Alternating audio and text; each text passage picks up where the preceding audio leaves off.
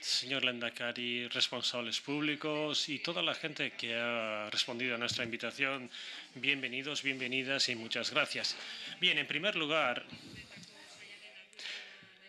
como responsable del Departamento de Desarrollo Económico, tengo que agradecer a la viceconsejera Cristina Uriarte por todo el interés que ha mostrado siempre por la industria y por las necesidades de la industria. Tanto ella como el viceconsejero Jorge Arevalo siempre ha sabido responder a todos los desafíos que tiene delante nuestra industria, por lo cual le quiero dar las gracias. Actualmente la formación profesional está recuperando la importancia que ha tenido desde siempre en el País Vasco. Siempre hemos tenido algo de técnico en nuestra industria. Diríamos que la base siempre ha sido la tecnología y en esto la formación profesional ha realizado una aportación muy, muy importante. Actualmente, también en el siglo XXI, es este el futuro y es así como tenemos que seguir.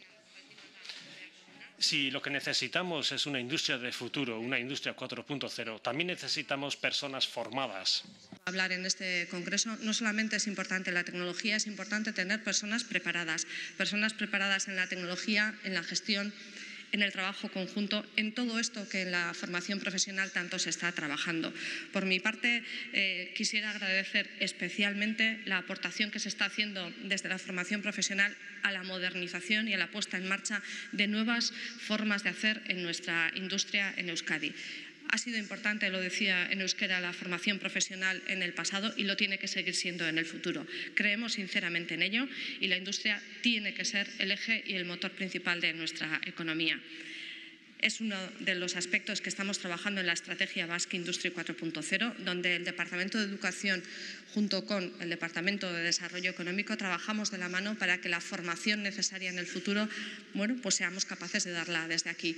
Y permítanme hacer un, guiño especial a algo que tenemos que poner en funcionamiento entre todos y todas, y entre todos y todas, la aportación de las mujeres a este mundo, al mundo industrial y al mundo de la tecnología.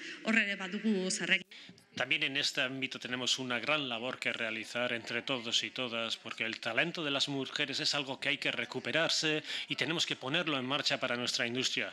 Por lo tanto, espero que estas jornadas sean de provecho para todo el mundo. Gracias por venir. Coming. We are working all together, both departments.